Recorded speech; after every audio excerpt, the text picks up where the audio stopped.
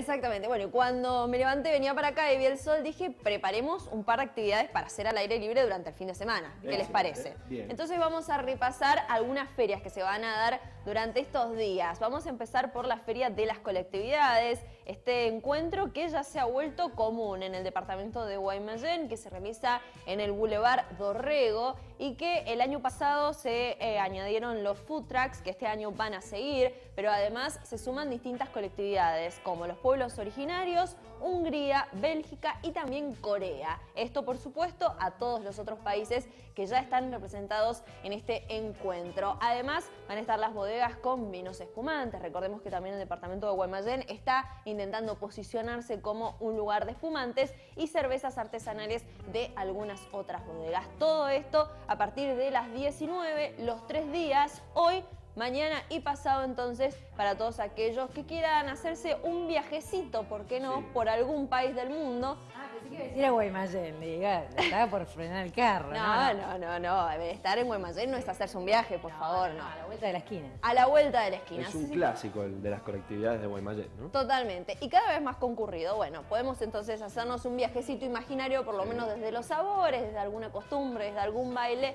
allí en este encuentro de colectividades. Pero no es